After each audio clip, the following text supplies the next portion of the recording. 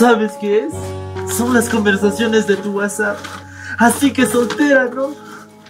Así que lo pasaste muy bonito con él. Dime, ¿qué es esto? Lo siento, Luis. Tú sabes todo lo que hice por ti. Perdóname. Te di todo y mira cómo me pagas. Perdóname.